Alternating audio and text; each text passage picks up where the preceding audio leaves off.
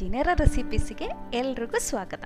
ಇವತ್ತು ಅಕ್ಕಿ ಶಾವಿಗೆ ಇಲ್ಲ ಇಡಿಯಪ್ಪಂ ಇಲ್ಲ ಒತ್ತು ಶಾವಿಗೆ ಯಾವ ಥರ ಮಾಡೋದು ಅಂತ ನೋಡೋಣ. ಇದು ತುಂಬ ಈಸಿಯಾಗಿರೋ ಮೆಥಡು ಪರ್ಫೆಕ್ಟಾಗಿ ಅಕ್ಕಿ ಶಾವಿಗೆ ಬರುತ್ತೆ. ಸೊ ಕುಕಿಂಗ್ ಬರ್ದೋದವರು ಮಾಡ್ಕೋಬೋದು. ನೋಡೋಣ ಯಾವ ಥರ ಮಾಡೋದು ಅಂತ. ಇದಕ್ಕೆ ನಾನಿಲ್ಲಿ ಅಕ್ಕಿ ಹಿಟ್ಟು ತೊಗೊಂಡಿದ್ದೀನಿ. ಎರಡು ಕಪ್ಪು ಅಕ್ಕಿ ಹಿಟ್ಟು ತೊಗೊಂಡಿದ್ದೀನಿ. ಅಕ್ಕಿ ಹಿಟ್ಟು ಚೆನ್ನಾಗಿ ಫ್ರೈ ಆಗಿರೋ ಅಕ್ಕಿ ಹಿಟ್ಟು ಆಗಿರಬೇಕು ಅದಕ್ಕೆ ಒಂದು ಅರ್ಧ ಟೀ ಸ್ಪೂನ್ ಉಪ್ಪು ಹಾಕೊಳ್ಳಿ. ಮತ್ತು ಒಂದು ಅರ್ಧ ಟೀ ಸ್ಪೂನಷ್ಟು ತುಪ್ಪ ಹಾಕ್ಕೊಂಡು ಚೆನ್ನಾಗಿ ಮಿಕ್ಸ್ ಮಾಡ್ಕೋಬೇಕು. ಅಕ್ಕಿ ಹಿಟ್ಟು ನೀವು ಇಡಿಯಪ್ಪಂ ಪೌಡ್ರ್ ಅಂತ ಮಾರ್ಕೆಟಲ್ಲಿ ಸಿಗುತ್ತೆ, ಅದು ತೊಗೋಬೋದು. ಇಲ್ಲಾಂದರೆ ಮಾಮೂಲಿ ಅಕ್ಕಿ ಹಿಟ್ಟು ತೊಗೊಂಡ್ರೆ ಅದನ್ನು ಒಂದು ಸ್ವಲ್ಪ ಹೊತ್ತು ರೋಸ್ಟ್ ಮಾಡ್ಕೊಳ್ಳಿ. ಎರಡು ಕಪ್ ಅಕ್ಕಿ ಹಿಟ್ಟಿಗೆ ಮೂರುವರೆ ಕಪ್ಪು ನೀರು ಯೂಸ್ ಆಗಿದೆ ನನಗೆ ಇಲ್ಲಿ. ನೀವು ನಾಲ್ಕು ಕಪ್ಪಷ್ಟು ಸೇಮ್ ಕಪ್ಪಲ್ಲಿ ನಾಲ್ಕು ಕಪ್ಪಷ್ಟು ಬಿಸಿ ಮಾಡೋಕ್ಕೆ ಇಟ್ಕೊಳ್ಳಿ. ಅದು ಸ್ಟವ್ ಮೇಲೇ ಇರಬೇಕು ನೀರು, ಕುದೀತಾ ಇರಬೇಕು. ಆ ನೀರನ್ನ ಸ್ವಲ್ಪ ಸ್ವಲ್ಪ ಹಾಕ್ಕೊಂಡು, ಒಂದೊಂದು ಸ್ಪೂನ್ ಹಾಕ್ಕೊಂಡು ಸುಮ್ಮನೆ ಮಿಕ್ಸ್ ಮಾಡ್ತಾ ಇರಬೇಕು. ಈ ವಿಡಿಯೋ ನೋಡ್ತಾರೆ ಯಾರಾದರೂ ಚಾನಲ್ ಇದುವರೆಗೂ ಸಬ್ಸ್ಕ್ರೈಬ್ ಮಾಡಿಲ್ಲ ಅಂದರೆ ಸ್ವಲ್ಪ ಸಬ್ಸ್ಕ್ರೈಬ್ ಮಾಡಿ ಸಪೋರ್ಟ್ ಮಾಡಿ. ವಿಡಿಯೋ ನಿಮ್ಗೆ ಇಷ್ಟ ಆದರೆ ಲೈಕ್ ಮಾಡಿ ಶೇರ್ ಮಾಡಿ. ನೋಡಿದ್ರಲ್ವಾ? ನಾನೊಂದು ಸೌಟ್ ತೊಗೊಂಡು ಸ್ವಲ್ಪ ಸ್ವಲ್ಪ ಹಾಕಿ ಅದನ್ನು ಒಂದು ಮುದ್ದೆ ಥರ ಉಣಿಸ್ತಾ ಇದ್ದೀನಿ. ನಾವು ಅದು ಅಕ್ಕಿ ಹಿಟ್ಟು ಮಿಕ್ಸ್ ಮಾಡುವಾಗ ಎಲ್ಲೋ ಅಕ್ಕಿ ಹಿಟ್ಟದು ಪೌಡ್ರ್ ಕಾಣಿಸ್ಬಾರ್ದು. ಅದೇ ಥರ ಮಿಕ್ಸ್ ಮಾಡ್ಕೊಳ್ಳಿ. ಚೆನ್ನಾಗಿ ಮಿಕ್ಸ್ ಆಗಬೇಕು ನೀರಲ್ಲಿ.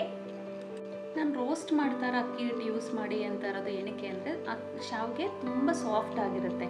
ಅದಕ್ಕೋಸ್ಕರ ಹೇಳ್ತಾ ಇರೋದು. ನೋಡಿ, ಇದೇ ಥರ ಸಾಫ್ಟ್ ಆಗಬೇಕು. ಮಿಕ್ಸ್ ಮಾಡಿದ ನಂತರ ತುಂಬ ಸಾಫ್ಟ್ ಆಗಿರಬೇಕು.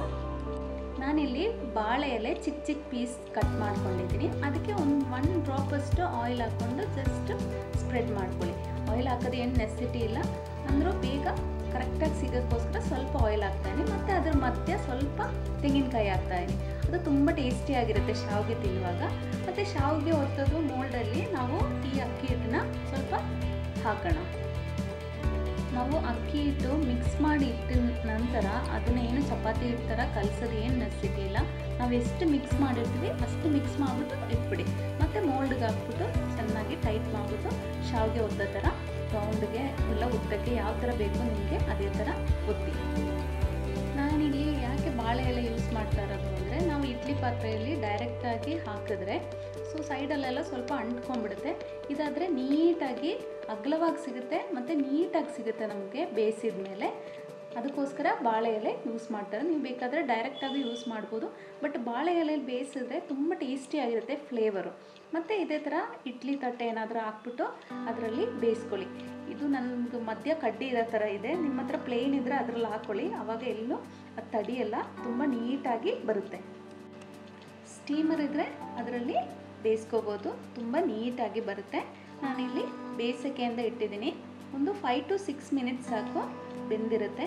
ತುಂಬ ಚೆನ್ನಾಗಿರುತ್ತೆ ಇದು. ನೀವು ಕಾಯಿ ಹಾಲು ಯೂಸ್ ಮಾಡ್ಕೊಂಡು ತಿನ್ಬೋದು. ಇಲ್ಲ ಅಂದರೆ ಕಾಕೋನಟ್ ಮಿಲ್ಕಲ್ಲಿ ಶುಗರ್ ಹಾಕ್ಕೊಂಡು ತಿನ್ಬೋದು. ಇಲ್ಲ ಖಾರ ಇಷ್ಟ ಆಗೋರಿಗೆ ಚಿಕನ್ ಗ್ರೇವಿ ಇಲ್ಲ ಗ್ರೀನ್ ಗ್ರಾಮ್ ಗ್ರೇವಿ ಹಾಕ್ಕೊಂಡು ಯೂಸ್ ಮಾಡ್ಕೋಬೋದು. ಎಲ್ಲರೂ ಟ್ರೈ ಮಾಡಿ ನೋಡಿ. ಮಾಮೂಲಿ ಅಕ್ಕಿ ಹಿಟ್ಟು ಯೂಸ್ ಮಾಡ್ತಾ ಇದ್ದರೆ ಬಿಸಿನೀರಲ್ಲಿ ಚೆನ್ನಾಗಿ ಮಿಕ್ಸ್ ಮಾಡ್ಕೊಳ್ಳಿ ಅಕ್ಕಿ ಹಿಟ್ಟನ್ನ. ಆವಾಗ ಸಾಫ್ಟಾಗಿ ಅಕ್ಕಿ ಹಿಟ್ಟು ನೆಸಿಟಿ ಇರಲ್ಲ. ಸೊ ಎಲ್ಲರೂ ಟ್ರೈ ಮಾಡಿ ನೋಡಿ. ತುಂಬ ಟೇಸ್ಟಿಯಾಗಿರೋ ಬ್ರೇಕ್ಫಾಸ್ಟ್ ಇದು.